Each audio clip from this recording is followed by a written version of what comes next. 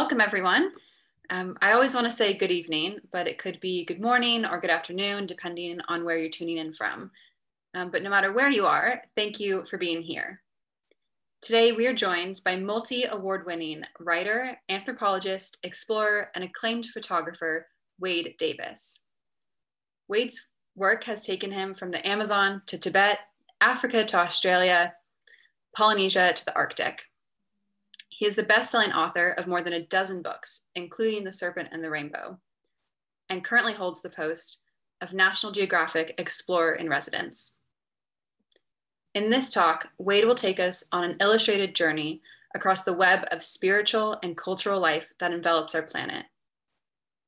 Seeking answers to the fundamental question what does it mean to be alive?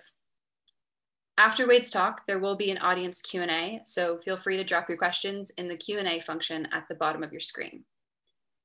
Without further ado, it is my pleasure to welcome Wade Davis.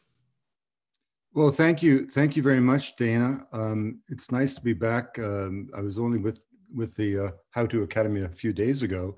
Uh, and this is a kind of a reprieve of a talk that I gave in 2018 uh, when we were able to gather um, together it's really the story of culture around the world. You know, one of the great um, pleasures of travel, as I'm sure most of us can ex- have experienced, is the opportunity to live amongst those who have not forgotten the old ways, who still feel the past in the wind, uh, touch it in stones polished by rain, taste it in the bitter leaves of plants. And just to know that as we sort of do this internet um, gathering um, today, uh, in the Amazon, jaguar shaman are still journeying beyond the Milky Way. And in the, in the high Arctic, the, um, let's just see here. Oops, we've, let's see, why are we not getting, sorry about this, Dana. Somehow there's a problem with the, we had this problem before with you guys. There we go. Let's see if that's, then the high Arctic, the, the myths of the Inuit elders still resonate with meaning and that in the Himalaya, the Buddhists still pursue the breath of the Dharma, is to remember kind of the central revelation of anthropology. And that's the idea that the world into which you were born does not exist in some absolute sense, but is just one model of reality, the consequence of one set of adaptive choices that your lineage made, however successfully, many generations ago.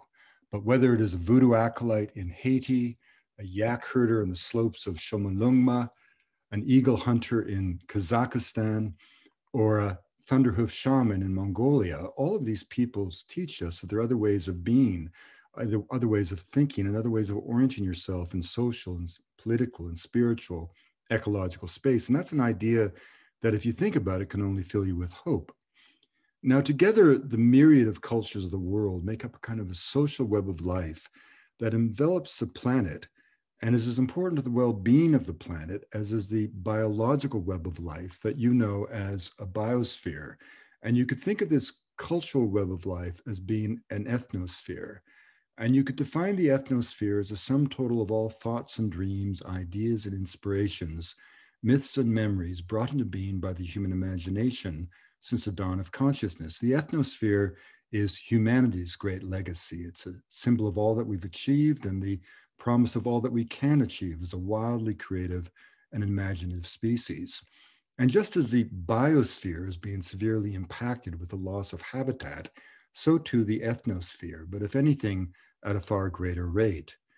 Few biologists would suggest that 50% of plants and animals are on the brink of extinction. Dire as the situation indeed is. And yet, that the most apocalyptic scenario in the realm of biological diversity scarcely approaches what we know to be the most optimistic scenario in the realm of cultural diversity. And the great indicator of that, of course, is language loss. When each of us were born, there were 7,000 languages spoken on Earth. Now, a language isn't just a body of vocabulary or a set of grammatical rules. A language is a flash of the human spirit. It's a vehicle through which the soul of every culture comes into the material world. Every language I once wrote was an old growth forest of the mind, a, a watershed of thought, an ecosystem of social and spiritual possibilities. And of those 7,000 languages, by absolute academic consensus, half aren't being taught to children, which means they're on the brink of extinction. Now, there are many people who say, wouldn't the world be a better place if we all spoke one language? Wouldn't uh, communication be facilitated? Wouldn't it be easier for us to get along? And my answer to that is always to say, what a great idea, but let's make that language Mongolian. Let's make it Inuktitut. Let's make it uh, Haida. And you suddenly begin to feel, as a native speaker of English, what it would be like to be enveloped by silence, to have no ability to pass on the wisdom of your ancestry or to anticipate the promise of your descendants. Uh, and yet, that is the fate of somebody somewhere on earth every fortnight, because on average, every two weeks, some elder passes away and carries with him or her into the grave the last syllables of an ancient tongue. And the reason this is so particularly poignant in this moment in history is that it's occurring in the very same era in which science has come to the fore to prove the truth of the central revelation of social anthropology, which is cultural relativism. Within the last generation, geneticists in particular have revealed that the genetic endowment of humanity is a continuum. Race is an utter fiction. We're all cut from the same genetic cloth. In fact, we all are descendants of that same handful of hominids who walked out of Africa some 65,000 years ago and then embarked on this extraordinary diaspora, 40,000 years in duration, 2,500 human generations that carried the human spirit to every corner of the habitable world. But here's a remarkable thing. If you accept that we are cut from the same genetic cloth, it means by definition that every population shares the same raw genius. And how that genius is expressed is simply a matter of choice. Uh, we may celebrate technological wizardry. The people of Australia, Aboriginal people of Australia, may invest their mental acuity in the complex task of unraveling the mystic threads of memory inherent in a myth. The critical point is that that old Victorian idea, inspired by evolutionary biology, that cultures evolved, that we somehow went from the savage to the barbarian to the civilized of the Strand of London, that European society with its technological excellence stood at the apex of a pyramid that sloped down the sides to the so-called primitives of the world has absolutely been debunked by modern science and shown to be an artifact of the 19th century as irrelevant to our lives today as a notion that clergymen had in that time that the earth was but 6,000 years old in this stunning affirmation of the human spirit, genetics has come to the fore to prove the truth of this fundamental intuition of anthropology the idea that every culture has something to say.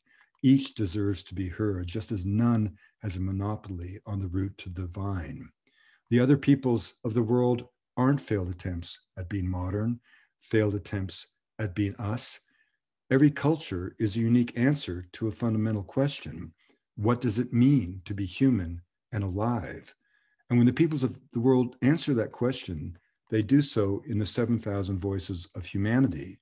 And those answers and those voices collectively become our human repertoire for dealing with the challenges that will confront us in the coming centuries. So to lose half of humanity's linguistic diversity is to lose half of our collective social, cultural, ecological, and spiritual knowledge. And this does not have to happen. But what do we do about it? You know, if you're a biologist and you identify an area of high species endemism, you try to make a protected area. You can't make a rainforest park of the mind. You can't sequester people like some kind of zoological specimen. Change is the one constant in human affairs. All peoples everywhere are always dancing with new possibilities for life. So when I was recruited in 2000 to become the social anthropologist at the National Geographic, as part of our conservation mission, the question is, what do we do? And the decision was made that that politicians, you know, follow, they rarely lead, polemics aren't persuasive, but storytellers change the world. So I propose that we go out into the ethnosphere to make films and write books and tell stories of, of human practices so inherently dazzling that you cannot learn about them without coming away with a new appreciation of the wonder of the human spirit as brought into being by culture.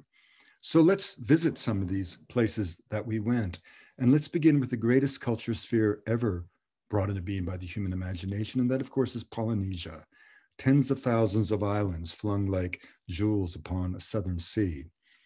And I sailed with the Hokulea, this reconstructed catamaran inspired by the drawings that Joseph Banks did as he sailed with Captain Cook in the 18th century. And even today, the Polynesian sailors can name 220 stars in the night sky. They can sense the presence of distant atolls beyond the horizon by watching the reverberation of waves across the hull of the vessel, knowing full well that every island group has its own refractive pattern that could be read like a forensic scientist reads a fingerprint. Men who in the darkness the hull can distinguish several uh, swells moving through the vessel at any one time, distinguishing those caused by local weather disturbances from the deep currents that pulsate across the Pacific and be followed with the same ease with which a terrestrial explorer would follow a river to sea. Indeed, if you took all of the genius that allowed us to put a man on the moon and applied it to an understanding of the ocean, what you would get is Polynesia. But the amazing thing about this tradition is that it had no written word, and it was the navigation was based on dead reckoning. So the wayfinder only knew where he was or she was by remembering precisely how they got there. And it was the impossibility of using dead reckoning on a long oceanic voyage that kept most European transports hugging the shores of continents until the British solved the problem of longitude with the invention of the chronometer. But we know for a scientific fact that 10 centuries before Christ, the ancestors of the Polynesians set sail into the rising sun. And in very short order, 80 generations settled every island group in the Pacific. Now, if we move for a moment into the Amazon, the greatest forest on earth, the homeland of the people of the Anaconda who live so closely to the forest, they don't distinguish the color green from the color blue because the canopy of the heavens is the canopy of the rainforests. The Waorani, a remarkable people of the eastern forest, true natural philosophers who understand the forest as they do because their lives are built upon that. And having approached that forest with all the genius of the human spirit and mind, they've made these extraordinary discoveries, which drew us as botanical explorers. Curare, the flying death, which yielded D-tubocurarine, the muscle relaxant that transformed surgery in the 1940s. The alchemic, alchemic, alchemical ability of these individuals to combine plants in curious ways, the, the, the, the glory of the shamanic vision, if you will, the exemplar of which, of course, is ayahuasca, the vision vine. Now, these psychoactive plants um, are, are, are, are powerful sacred medicines, but here you see the Yanomami blowing the snuff up the noses of a plant called ebene, which contains tryptamines. This is critical to this story. They blow it up the nose because tryptamines are orally inactive. They cannot be taken orally because they're denatured by an enzyme in the human gut. The curious thing is if we go across to the northwest Amazon and the Barasana and the Tucano and the Macuna and the Tanimucos, or the Kofan in Ecuador, here you have ayahuasca made, the vision vine, the vine of the soul, but it's not a vine, it's a preparation. The shrubs, the leaves of a nondescript shrub in the coffee family, Psychotria viridis, full of these tryptamines, but also the bark of a woody liana, totally different plant, which has beta carbolines, which turn out to be MAO inhibitors of the precise sort necessary to potentiate the tryptamines found in those leaves. But forget about the chemistry, but here's the amazing question how in a flora of at, at the very least 80,000 species of vascular plants did the indigenous people learn to combine these distinct denizens of the rainforest in this profound way to create a biochemical version of the whole being greater than the sum of the parts. The only scientific explanation is trial and error, which statistically is exposed as a meaningless euphemism. The people say the plants teach us. What does that mean? Well, what we do, do know is that we know so little um, about the lifeways of the people of forest. When I first lived in the Northwest Amazon, it seemed like a kind of a, a, a sad place, overrun by rubber barons and missionaries. And just to emphasize that this, this path to cultural erosion is not one way. In the 1980s, a Colombian president, Virgilio Barco, said to a young anthropologist, Martin von Hildebrand, to do something, quote, for the Indians. In five incredible years, Martin set aside lands the size of the United Kingdom for the 57 ethnicities of the Northwest Amazon. And behind a veil of isolation created by the modern conflict of Colombia, a new dream of culture was born. Stephen Hugh Jones, the head of anthropology at Cambridge, once was part of a film in which he described the people with whom he had lived for so long, the Barasana. He predicted their demise in a world of disappearing cultures. He came back to join us as we made this film, as he walked into one of these great malokas, the heart of the kindred, the, the, the symbol of the universe, if you will. He encountered 250 men in full ritual regalia, and he got on his phone the satellite phone to his wife back in London, and he said, Darling, you won't believe what I'm seeing. The only thing that disappeared are the missionaries. And indeed, what Stephen had witnessed was a cultural revival of extraordinary extent. When we asked the elders, why did you allow the missionaries to stay as long as they did? The Indians said that they promised to make us human. This is the essence of colonization to persuade the colonized of their own inherent inferiority. And this cultural renaissance came not a moment too soon because we now understand that the Barasana and the Makuna are, in fact, the direct descendants of the great civilizations that Orellana encountered in 1541 when he traveled the length of the Amazon with social structures that facilitate peace and exchange, not war, not the least of which is a marriage rule that says you must speak somebody who you must marry someone who speaks a different language. In any one longhouse, six and seven languages languages are spoken, who have rich cultural traditions, wisdom traditions that favor the man of knowledge to the warrior. And this is not hippie ethnography. Belief systems, the most profound uh, intuition of which is that plants and animals are just people in another dimension of reality. For the Barasana, people are not the problem, they are the solution. It is only people that can maintain the energetic balances of the world. And when they take ayahuasca or yahe in these great annual celebrations, hundreds of men in liminal space taking ayahuasca two days and two nights, not becoming symbols of the ancestors, literally becoming the ancestors, traveling back through mystic space, visiting the points of origin, reciting the toponyms of 1600 place names, running away the length of the Milk River, the journey of the ancestors arrived in the belly of the sacred serpents. In doing so, they are laying claim to their obligation to be the mediator between the wild and the realm of humanity. The shaman for the Barasana is not priest or physician. He's more like an engineer who periodically goes to the heart of the reactor to reprogram the world. While rising up into the Andes, we look at notions of sacred geography. What does it really mean when a people believe that a mountain is a deity as opposed to an inert body of rock? How does that play out? Why is it that in our Descartesian tradition, we have deanimated the world, reducing plants and animals to props on a stage set that only humans uh, uh walk upon? This extractive model in which science has made a house cleaning of belief has become ubiquitous but the triumph of secular material, materialism may be the conceit of modernity, but it shouldn't suggest that it's the norm, it's the anomaly. Most peoples of the world relate to the natural world through a mechanism of reciprocity, the simple idea that the earth owes its bounty to people, people owe their fidelity to the earth. The essence of coca leaves blown to the Apu deities, Apu deities that are embraced in rituals, this, the movimiento in Cusco, where the fastest young boy dresses as a woman, carrying the feminine energy to the mountaintops, an obligatory run that traverses the range of the, boundaries of the community lands. Extraordinary athletic achievement, running from 11,500 feet down to the base of the mountain, running to 16,000 feet, crossing two more Andean ridges over the course of a long ritual day where the sacrifice make sacred, as the Latin implies, where the exhaustion fuses a community into a single unit that through ritual has reaffirmed their sense of belonging, their sense of place, their obligations to the earth.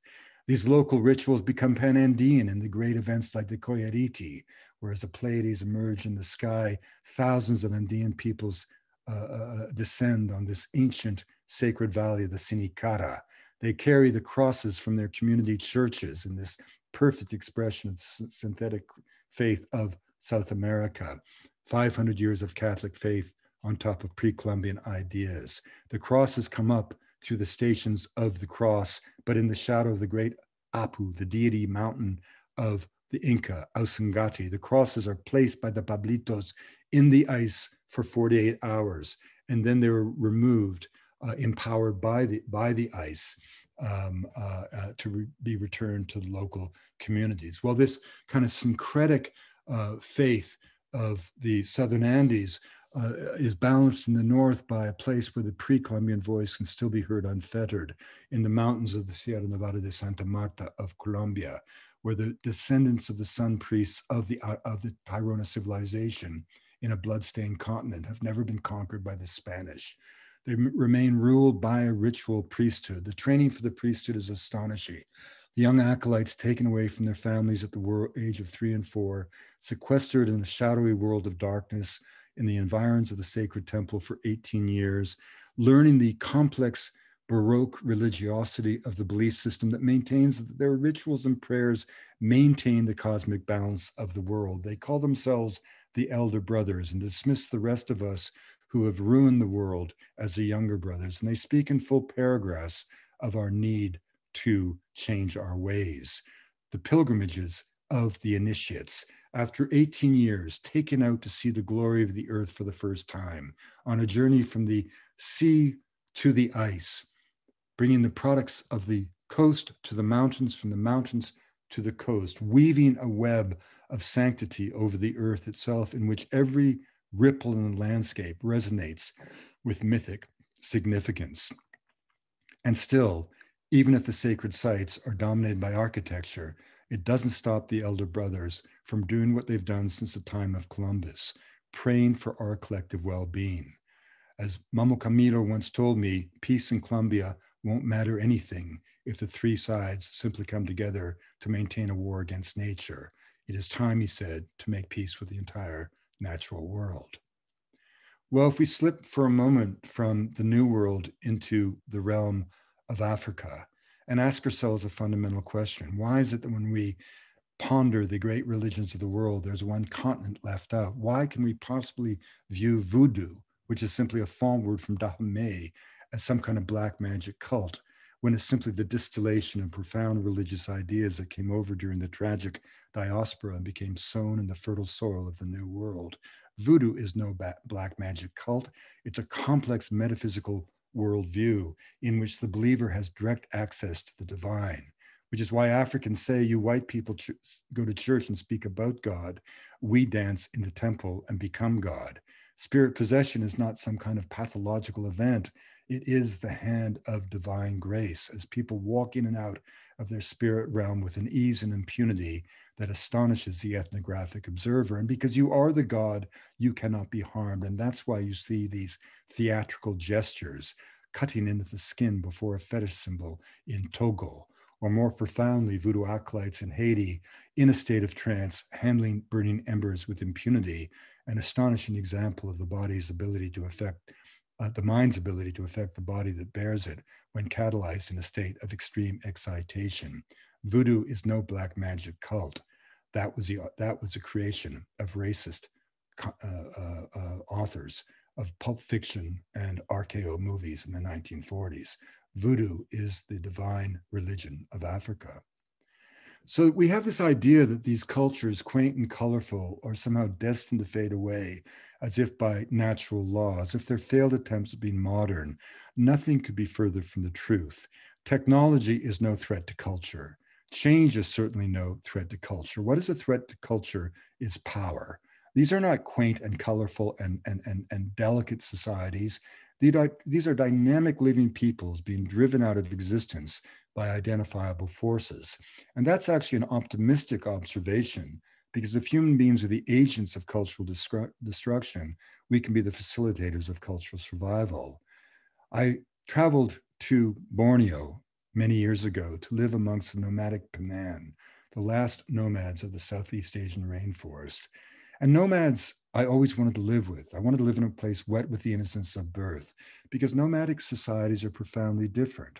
How do you measure wealth in a society in which everything has to be carried on your back and there's no incentive to accumulate anything? Well, in the Penan culture, wealth is explicitly defined as a strength of social relations between people, because if they fray, everybody suffers.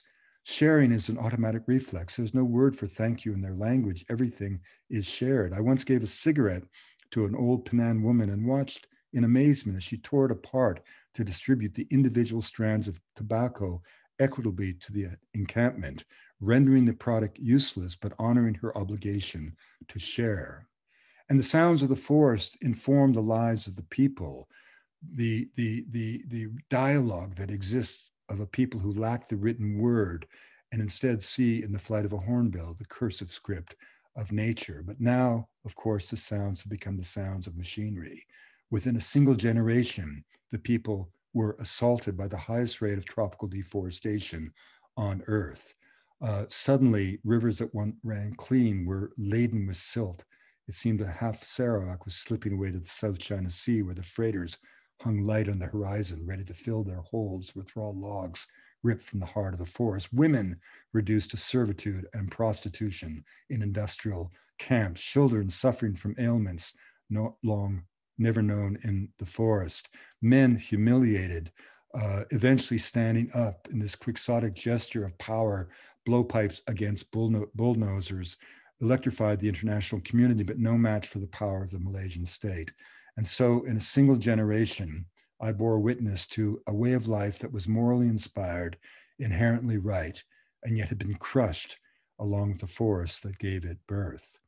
Now, the industrial, industrial intrusion in these lands reflects a certain worldview, and that worldview distilled in Descartes, Descartes' adage that all that exists is mind and matter was antithetical to the belief of the first peoples of Australia. And when the British washed ashore in Australia, they saw people that looked strange, who had a simple material culture. But what really offended the British is the Aboriginal people had no interest in improving upon their mater- material lot. And because progress and optimism were the hallmarks of Europe at that time, the British, in their inimitable way, concluded the Aborigines weren't human at all, and they began to kill them. As recently as 1902, it was debated in Parliament in Melbourne as to whether or not Aboriginal peoples were human at all. As recently as the 1960s, a school book used in schools across Australia, a treasury of fauna of Australia, listed the abos as amongst the interesting form of wildlife of the country. But what was in fact going on was a devotional philosophy too subtle for the British to understand the dreaming, the songline, the purpose of life in Australia wasn't to change anything. It wasn't a culture based on progress. It was a culture in, in, in, infused with stasis. The purpose of life was not to change anything. It was to do the ritual gestures deemed to be necessary to keep the world exactly as it was at the time of its creation. It would be as if all we had ever done was prune the shrubs in the Garden of Eden to keep it as it was when Adam and Eve had their fateful conversation. Now, again, I'm not saying who's right and who's wrong. Had we followed this devotional trajectory, we would not have put a man on the moon. But again, we wouldn't be talking about global climate change and our capacity to transform the biophysical life supports of the planet. So, if industry is one threat to culture, ideology is even more pernicious be it the ubiquitous cult of the modern or the Marxist mania of communist ideology. This is a nun at Angkor Wat whose feet and hands have been sliced from the body for the crime of pursuing the Dharma during the era of the killing fields. And if we slip into Tibet, where I spend a great deal of time, we see the consequences of a civilization brought down by the man who had the dubious distinction, Mao Zedong, of killing more of his own people in his lifetime than Hitler and Stalin combined. And when the ruler of China whispered into the ears of a young 14th Dalai Lama that all religion was poison, His Holiness knew what to expect. As the jackboot came into China with the final conquest in 1959, 2 million Tibetans would be killed for their religious beliefs. 6,000 sacred temples crushed to riprap and dust. And what was it about the Dharma that threatened the Marxist materialists of Beijing? Well, all life is suffering, the first of the Noble Truths. By that, the Buddha didn't mean that all life was negative, he just meant that shit happens. The second of the Noble Truths was a notion that suffering was caused by ignorance. By that, he didn't mean stupidity. He meant the tendency of people to cling to the cruel illusion of our own centrality in the stream of divine existence. The third was a revelation that ignorance could be overcome. And the fourth was a delineation of a spiritual practice that, if followed, had the promise of a transformation of the human heart. Well, some years ago, we made a film called The Buddhist Science of the Mind. And it was my good fortune to travel with a remarkable man, a good friend now, Mathieu Ricard, who grew up in a house of luminaries in Paris. His father was France's most prominent Western philosopher. His mother was an artist. He learned piano from Stravinsky. He knew photography from Cartier-Bresson, anthropology at the feet of Claude Lévi-Strauss. He was himself a molecular biologist in the lab uh, of a Nobel laureate at the Pasteur Institute, when one day he realized there was no correlation between fame, wealth, and happiness. So he became a Tibetan monk in the land where he had always been happy. And with us on this journey was also Sherab Barma, a traditional Amchi doctor. And beginning at the monastery of uh, Thubten Choling, under the grace of the late Trulshik Rinpoche, we went on a journey of the heart to experience a true wisdom hero, not of the West, um, but rather of the East, a bodhisattva, a woman who had achieved enlightenment but elected to stay in the realm of samsara to facilitate the illumination and liberation of all other sentient beings. We began at Chiwong Monastery in an 18 day celebration of Guru Rinpoche as he transmitted the Dharma to Tibet, the Mani Rimdu. We then began to walk high into the Himalayas, up into the snow, and past the cave where Sherab, as part of his seven years of medical training, had spent one full year in medical in meditation and retreat. And as Sherab uh, as Matthieu recited the sutras, Sherab told us about this woman, beautiful as a girl, forced to marry, escaped the hands of her fiance to pursue a life of the Dharma, crawled down a human latrine, covered with human excrement, cleaned up by the monks at Che Monastery, goes over the mountains of the 18,000 Nangpala Pass, becomes ordained as a Tibetan nun, comes back uh, over, and goes into lifelong retreat. And for 45 years, she has lived in a single cell, reciting a single mantra. And Sherab is now treating her in her old age. And because of this, we have a chance to meet her. And we do. And as we approach the cell, the door opens to bring sunlight onto the face of someone who has been isolated for 45 years. And you might expect the woman to be mad, but she radiates loving compassion. And as Matthieu later said, this is the efficacy, the evidence of the, the, the truth of the Buddhist science of the mind, the serenity of the practitioner. And later, a Tibetan monk said to me, You know, we in Tibet don't believe that you went to the moon, but you did. You may not believe that we achieve enlightenment in one lifetime, but we do. And so the Tibetans leave it to us to ask why we continue to tolerate the wrath of China as it sweeps over the civilization of Tibet. They cast their future upon the Diamond Sutra, the notion that candles are fleeting, that light fades into the day, that all is um, illusory, and that all will yield to another reality. So, in the end, we have to ask ourselves what kind of world do we want to live in? A monochromatic world of, of uh, monotony or a polychromatic world of diversity? Do we want our children to wake up and and as if from a dream, having never even remembered that there are other possibilities for life itself? Culture is not trivial. This it is not decorative.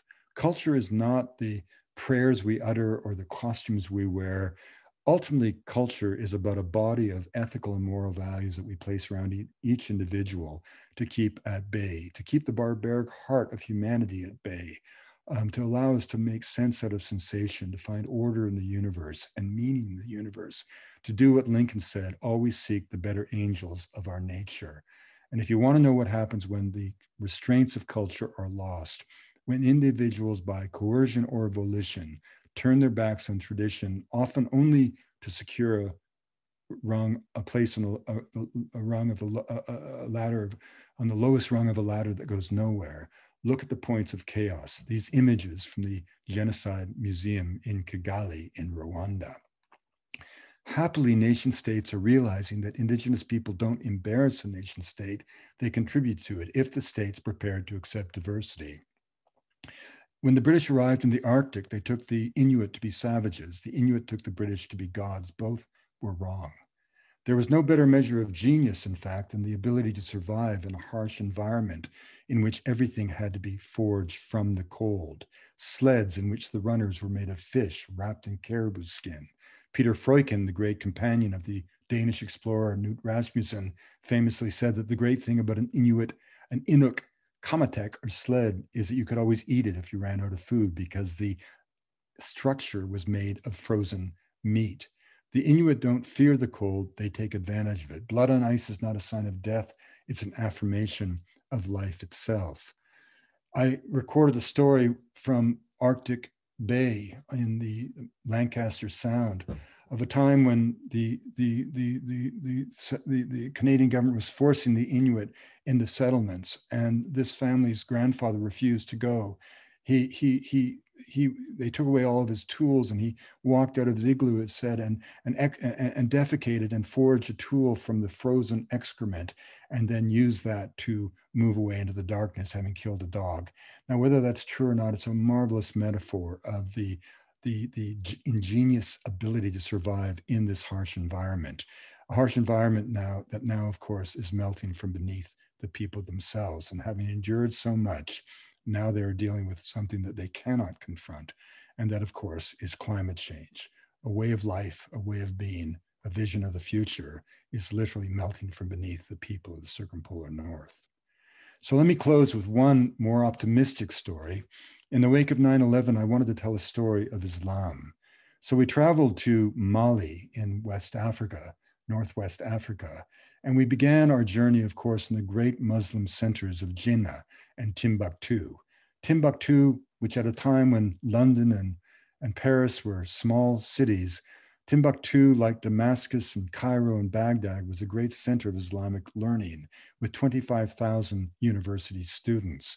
Indeed, the entire knowledge of the Renaissance, of the ancient Greeks, only survived to inform the Renaissance because it was kept alive in the documents of the great Islamic scholars like Avicenna. And indeed, in Timbuktu to this day, you can come upon ancient documents uh, heralding the time of Islamic scholarship, documents that speak of botany, chemistry, astronomy, uh, medicine, philosophy, mathematics. So we traveled from Timbuktu north, Timbuktu being the port on the southern shore of the Sea of the Sand that is the Western Sahara. And we followed the ancient trade route north to Marrakesh, which uh, in 52 days would at one point carry the gold of West Africa to Europe, remembering that until the discovery of the New World, two thirds of Europe's gold came from equatorial West Africa. Our destination was an ancient salt mine uh, that had been worked since the uh, for at least 800 years.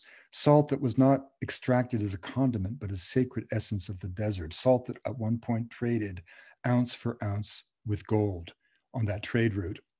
This was a journey that you had to make if you were a young Tamashek or Berber uh, youth before you could marry, because only the desert hones the devotion. And as we trudged north to this ancient mine, we suddenly encountered en route what could only be described as a biblical scene. My friend Isa Muhammad t- took one look at the mine he said simply, I would not bring my wife here. I asked some smugglers what country they came from, and they just said there are no countries here. And over the course of our time at that mine, two events occurred that I will never forget. First, we encountered this man who, from his papers, was chronologically younger than us but physically broken by years at the mine. He was serving in debt peonage. He had incurred a debt to save the life of his child with a merchant, and by the terms of that debt, he was never going to escape it. Uh, and we examined his documents. All that he owned were the clothes on his back, a ragged burmouche, a tin can of brackish water drawn from a desert well, and the salt walls of the shack in which he slept. And his entire debt was less than the cost of a dinner for two in London. And so my friend and I happily gave him that money, never discovering whether he was telling us the truth. Was he later killed for the money? Uh, did he escape and get back to his family? Because as we gave him the money and as he blessed Allah for the gift, a veil of yellow cloud came through the mine, a sandstorm that swept him into obscurity. And then on the way south to Timbuktu, we came upon a caravan that we had met going north. A strange rainstorm had cracked open the Sahara sky. The salt had gotten wet. If it get wet, it, it cracks and loses all value. So this entire caravan, the camels of several families, eight or nine young men with all the wealth of their families, their responsibility, had been forced to stop in the desert. And there is no margin for error on this 40 day camel trip. And they were down to no food, no fodder for their camels, 220 kilometers away from the nearest well, down to one liter of water between them all. Now, in the Sahara, you can live for two weeks without food, but without water, you die overnight. It's said of the truck smugglers of Mauritania, they say that the best thing about brake fluid in a truck is it keeps you off the battery acid. And as we came upon this caravan, we saw this one lad walking 20 kilometers into the desert to a spot where they thought they might be able to dig for water. And what did they do with their last reserves of water? They immediately kindled a twig fire and brewed us tea, honoring the adage of the Bedouin that you will kill the last goat that gives the milk that keeps your only children alive to feed a wandering stranger who turns up at your tent, cold, lonely, in need of shelter, because you never know when you will be that stranger in need of human help. And in the wake of 9 11, this was a story we wanted to tell about Islam. And as I watched Muhammad in this photograph that I took as he poured me that first cup of tea from the last liter of their water, I thought to myself as an anthropologist, this is why I do this work. And these are the moments that allow all us as human beings to, um, to hope. Thank you very much.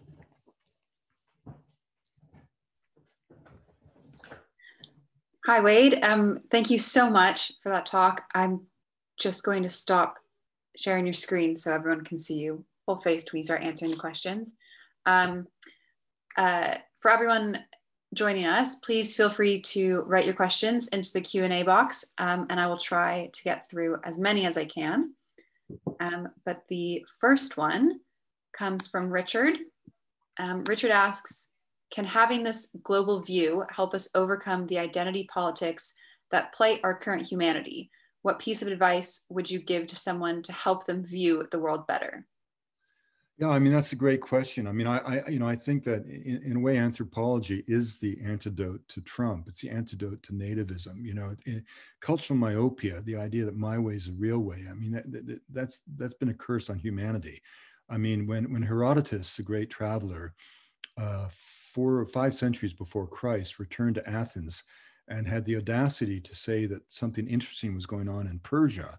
Uh, Plato wanted him banned from Athens for the audacity or for the gall of, uh, of uh, suggesting anyone else could be of interest besides the Greeks. Well, you know, this is, you know, most native names of their tribe is the people, the implication being the blokes over the hill or savages. And and and and anthropology is the antidote to that. I mean, that's why Ruth, Ruth Benedict said the purpose of anthropology is to make the world safe for human differences.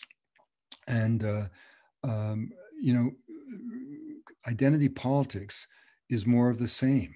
I mean, the, the, the, really extraordinary thing about that genetic information, and, and, the reason, Dana, that it's kind of the, the moonshot of your generation, you know, the two scientific moments of illumination that will be spoken about 50,000 years from now. One was my generation as Apollo went around the dark side of the moon and revealed for the first time on Christmas Eve, 1968, what the planet really was. You know, I mean, a, a marble of blue floating in the velvet void of space. You know, but this journey into our fiber puts a dagger in the heart of our beings. The genetic journey puts a dagger into the heart of racism and and it puts a dagger in the idea that there's a hierarchy of culture you know we we are all just uh, expressions of our own adaptive impulses each culture has something to say everyone deserves to be heard um, and, anthropology is such a powerful and important discipline it's not this sort of esoteric academic pursuit of sort of, you know, pith helmeted men on the corners of the colonial world. You know, if you think about it, Dana, your great grandfather, maybe your great great grandfather, the, the certitudes of life in Edwardian England about the role of men, the role of women, the, the nature of a family, um, the nature of race, uh, all of those ideas you don't adhere to. And in fact, many of them you'd find to be morally repugnant. Uh, and we can certainly see that the social movements of women's aspirations, people of color's aspirations, gay people's aspirations have created this new modern world, right? But we have to remember that something had to shatter those certitudes of the Victorian era to allow these social movements to happen. And what did that was a small group of uh, American uh, anthropologists uh, under uh, Franz Boas, who had the audacity to say in the 1920s that race was a was a total social construct with no meaning in biology that that uh, men didn't manners didn't make the man men and women invented the manners uh, that that uh, every culture had something to say each deserves to be heard. Each was a product of its own history. These ideas were so radical at the time that they were a shattering of the european mind the sociological equivalent of splitting the atom. And that's why boas deserves to rank with freud and einstein and and and uh, and darwin as the four great intellectual streams that birthed modernity as we know it. And the way I try to explain this to your generation is that if you think it's normal, Dana, that you could have a friend who's African American uh, with a girlfriend who's who's um, Chinese, if you if you think it's normal that two men, a gay couple, can be married and have children and and give as much love to that family as a man and a woman would in a heterosexual union, if you understand what a young Afro American woman of mixed heritage says when she points to herself and says, That's not the statue to the Confederacy. I'm the statue because look at my face. My face tells you that a white overseer raped my great grandmother. I am the statue of Confederacy. If you understand that, you are a child of anthropology because it was anthropology that allowed us to begin to think in new ways that now define the modern uh, um, uh, uh, experiment as we know it. So in this in this sense, identity politics brings us backward. What we need to do is find ways that every culture can benefit from the genius of modernity with, with, with that engagement not implying the death of who they are. Uh, when we recognize that the great lesson of anthropology is that humanity is one great interconnected whole. Um, thank you for that. Um, the, so the next question comes from Sandra, um, who asks, um, how, sorry, how do you think, hmm, how do you feel is essential for an individual to help support cultural diversity in these times?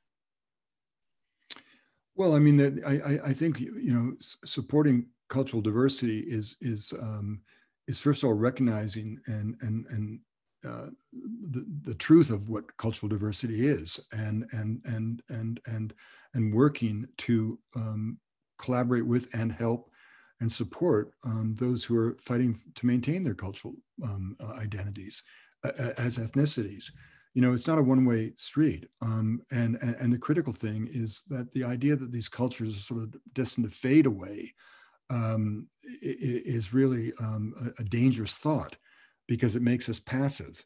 But once you recognize that these cultures are being driven out of existence, you can ask fundamental questions. Um, do we need that dam? You know, who's motivated? What's behind that deforestation plan? You know, what, what's going on with that mine? What, it, what, what is this conceit of modernity that tries to uh, um, export Western education to every corner of the world as if the people weren't already educating their own people? You know, what is, what is this idea of development where every indice of the development uh, uh, uh, paradigm has very little to do with quality of life. You know, um, how, how is the development paradigm and the myth of modernity simply used as an excuse to disenfranchise people and transform them from being who they are, often with the motivation of getting access to natural re resources on lands that those people have occupied for all of their uh, memory. So you know, begin beginning to be critical of these of of these um, uh, gestures of, of, um, of, uh, of, of, conceit, if you will. Uh, remembering always that the, um, uh, you know, the, the, essence of colonialism is to make the person ashamed of who they are. Um, and, and we can all um, work together uh, to celebrate our common heritage. Uh, the next question comes from an anonymous attendee who asks, how does youth culture vary across different societies? Well, one of the things that I that, that you, you see uh, uh in the classic sense of is, is that um, the failure in our tradition to acknowledge the transformation from childhood to adulthood. You know, we do it in poetry. I mean, that was what William Blake was all about: journeys from um, innocence to experience. But most societies around the world have very uh, strict and rigorous initiation rites, which often include um, a liminal space between, you know, youth and adulthood, uh, often marked by um, rituals that can be described almost as ordeals. Often pain, isolation is involved. And the reason that these rites of passage involve often uh, physical exposure, physical pain, is because the message has to be absolutely clear. You know, life as you knew it is over. Uh, childhood is over. Now it is your time to take your place. And if you don't take that burden of responsibility, you threaten the integrity and the cultural survival of all of our people. And, and, and, and I think that in, in many ways, um, uh, you know, the trauma of the teenage years, which of course means the years in between, is an artificial construct um, because we don't acknowledge um, um, the, the, the profundity that puberty, for example, represents, particularly for a young woman, you know, where literally your body is transformed in a matter of months. Um, so I so I think that um, uh, one of one of the things you see in in in, in traditional cultures is is this um, powerful moment of transition where you know one day you are a child and and and and, and then a month later you are a very different human being and i think that gives a certain kind of solidarity a, a sense of um, belonging you know one of the things that obviously has happened in, in american society in particular is that we've embraced the cult of the individual with almost uh, iconic intensity uh, which has given us great mobility and personal freedom but it has also torn deeply at the bonds of family and community. And that's a lot of what you're seeing in the United States today in the response and the, uh, the, the horrific response to COVID. Um, Rachel asks, what are some ways you've observed Indigenous people pushing back against the powers that have tried to erase them? Oh, it happens everywhere all the time. I mean, one of the extraordinary things is that Indigenous people have become empowered as never before in the courts, uh, on the blockades, uh, in, in, in, the, in, in the public uh, discourse. You know, the Penan, uh, in an incredible way, blockaded their logging roads at tremendous personal risk. You know, Nunavut didn't come, come about because of a sort of benign Canadian government. It was years of activism by uh, Inuk leaders who called for their own homeland, called for control of their resources. Uh, you know, there, there's a kind of a, a marvelous um, um, connectivity of indigenous people um, uh, uh, made possible by digital technology that is in a wonderful way um, eliminating the sense of isolation that many had felt you know, people are realizing that um, the greatest percentage of the world's intact biodiversity uh, remains on lands that at least titularly are under the control and ownership of indigenous people. You know, I, I, I think it, you know, it, it's extraordinarily exciting uh, to see how um, world attitudes are changing. You know, when I first lived in Colombia, for example, uh, in the 1970s, parents of my friends at the National University would say to me, no, ¿por qué quiere vivir con la gente sucia? You know, when I'd be going off to live with the mamos, why do you want to live with the dirty people? Now, the last five Colombian presidents, besides um, Ivan Duque, uh, made it their mission to go up to pay homage to the mamos before they became inaugurated as Colombian presidents because they saw that the mamos had emerged as symbols of continuity and patrimony in a country that was afflicted by conflict and war. And, and so I think, I, I think, you know, um, you know, it's an ongoing struggle um, and, and uh, it, a struggle that needs as many allies as it can uh, attract. But it's, it's a much more hopeful situation today. I mean, this is why we have to pay attention to what the Chinese are doing uh, in, in, in the northwest of that country to, to, to Uyghurs. I mean, what, what's going on in Tibet? You know, um, you know, we have to stand up for humanity. Hmm. Um, Richard asks, um, given the historical bookends we see as ends of cultural moments, i.e., the fall of Rome, the burning of Alexandria, etc., is it in our humanity to fatalize the future? And should we stand forthright and understand that simply we still exist, therefore we are moving forward? Or should we mourn some of the past? Well, I think we should be cognizant of the past or we'll repeat it, as Churchill famously said. Um, but I, but I, I think in terms of what he's getting at, Richard, you know, and what advice I would give to young people is, is that, you know, um, there's a funny kind of thing in our Western civilization that we kind of all think, even if we're not practicing Christians, that there's evil and there's good. And if we only work hard enough, good is going to triumph over um, evil. And uh, that doesn't seem to happen in history, does it? And my father, who was not a religious man, uh, had a different attitude. He, he said, Look, son, good and evil is all, they're both going to be always with us. So you've got a choice. What side are you going to be on?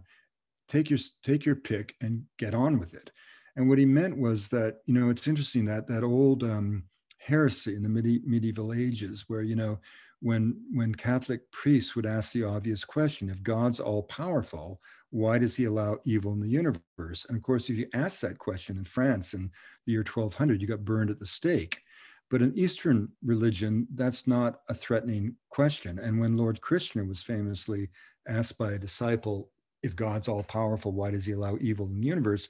Lord Krishna said to thicken the plot. In other words, most cultures have a notion of light and darkness, good and evil, and there's a sort of struggle in life to to resolve um, uh, the, the conflict so that hopefully good triumphs more often than evil. Um, and when you when you realize that's the way it is, you you can adopt a more what might be seen as almost a Buddhist idea where where your your movement through life is not destined to get somewhere. It's not a goal it's a state of mind.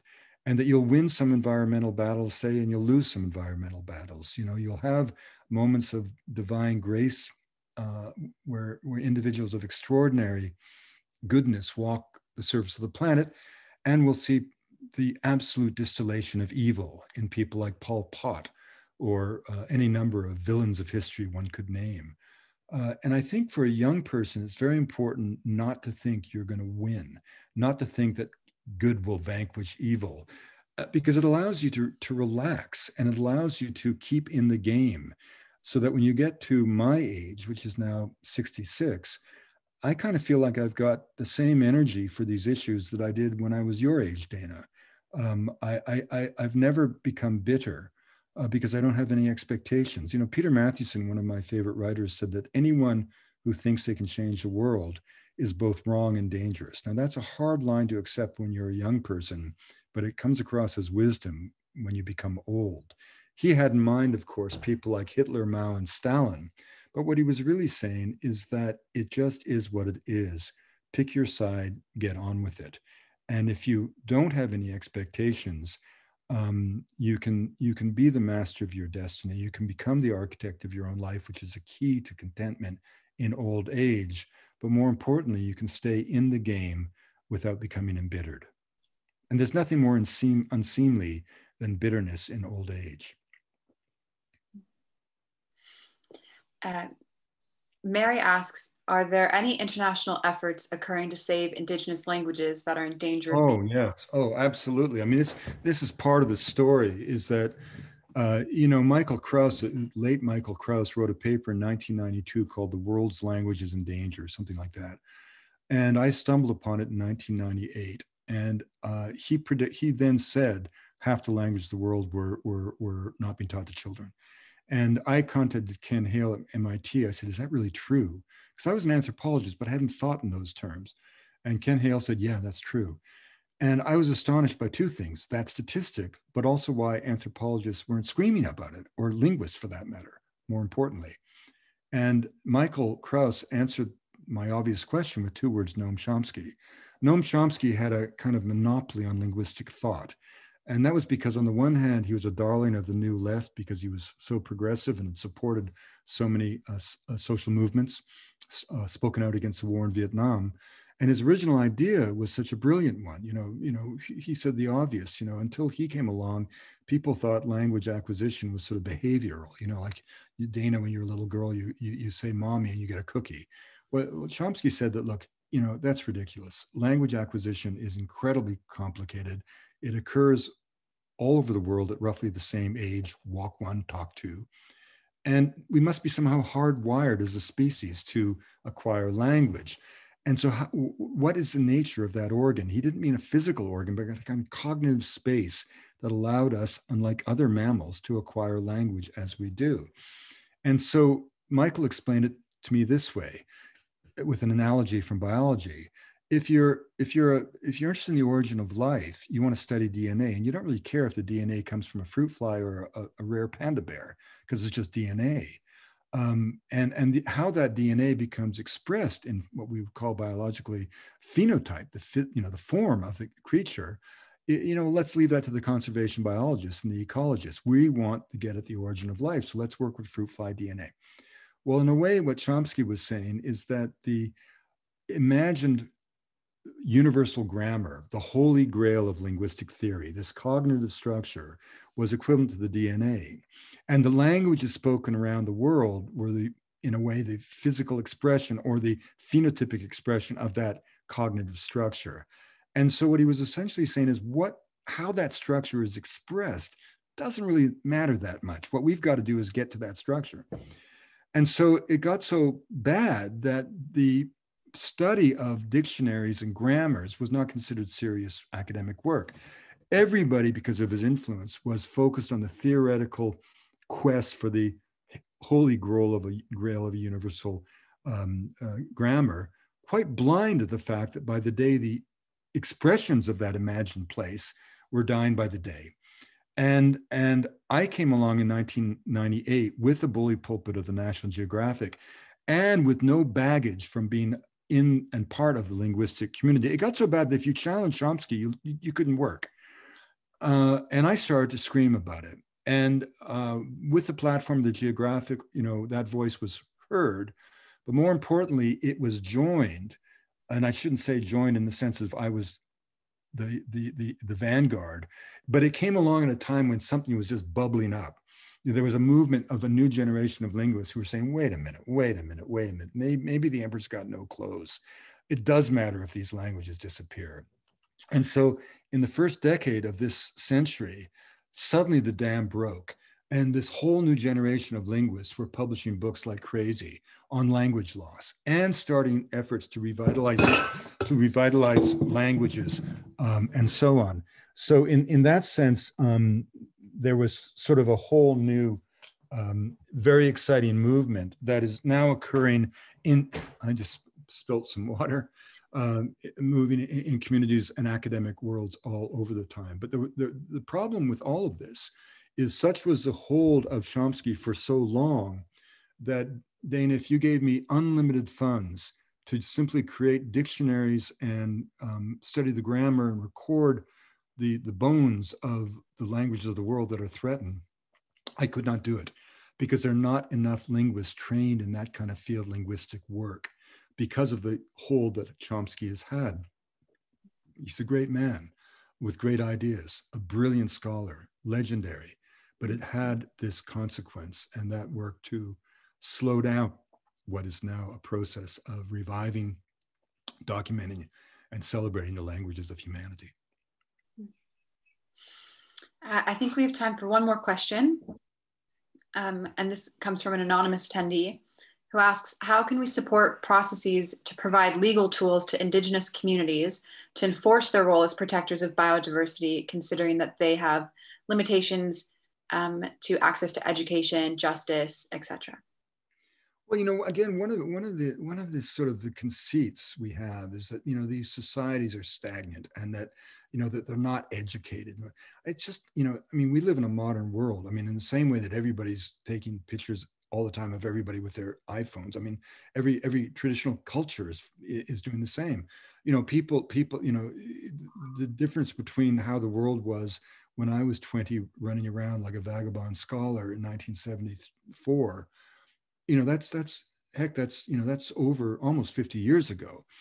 And uh, you know uh, indigenous people are going to school. They're educated. They're online. You know they're communicating. I mean the whole point isn't about people hidden away in the forest although some societies do remain uh, uncontacted. And that's a delicate story in and of itself but most indigenous people are engaged in the, their own acts of cultural survival young scholars who have become the ethnographers of their own lives um, who are attending universities in every country of the world, who are being empowered and part of this global community. And that's why it's not about the traditional versus a modern. It's the question is what kind of world are we all going to live in? And how can we how can we allow every society, every individual to have benefit of the genius of modernity, but critically not with the demand that they give up their own ethnicity?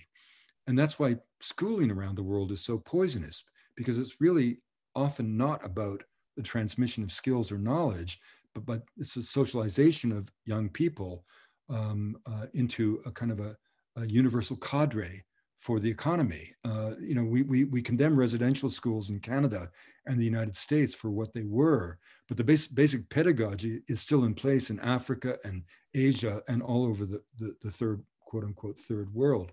So, you know, in terms of empowering Indigenous people, if you do some homework, you'll discover that that there's an indigenous lawyer speaking for every indigenous people. You know, there, there, there are organizations of lawyers working in collaboration with indigenous people.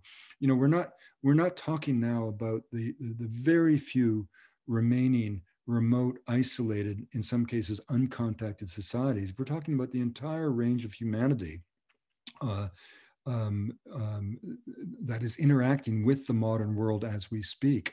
How do we allow them to maintain the richness of their cultural traditions while still being part of a changing world, even as they themselves will change. It's not about freezing anybody in time. It's really about what kind of world do you want to live in? A kind of, you know, uh, and, I, and I think that's what this is all about. That's a poetry of cultural diversity. Um, uh, and, and that's why, you know, it, it, every culture, uh, to lose a culture is, is to lose something of ourselves. Uh, well, thank you so much, Wade, for an incredible talk and very thoughtful answers to the audience questions. Um, thank you, everyone, for joining us from home, wherever you are. Um, we hope you enjoyed the talk and um, we hope you have a, a wonderful rest of your day. Thank you very much, Dana. Look forward to seeing you again.